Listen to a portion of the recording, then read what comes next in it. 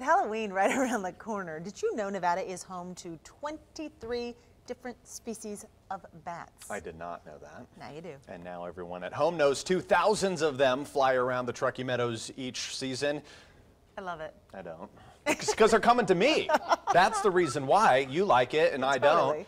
Uh, and you might find them a little bit creepy, maybe a little bit scary, but don't be afraid. Jeff Martinez says they can actually help our ecosystem. Well, this may look like a scene out of a scary movie, but it's right here in Reno. Thousands of Brazilian free tailed bats pour out of this underpass on East McCarran near Gregg Street. Right when the sun goes down, the bats come out of that colony and they come out in the thousands and they spread out over that area, usually around the university farms and then a little bit beyond.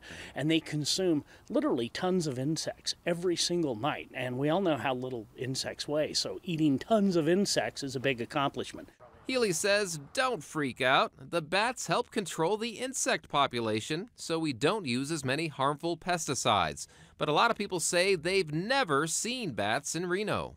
They do a great job of keeping insects down, keeping pests down, but they do it all at night, so people just don't really ever see them. Healy says bats are mostly friendly, but never try to catch or touch one as they can carry rabies. Bats are migratory and are only around our area in the spring and summer months, and they could even be living in your neighborhood.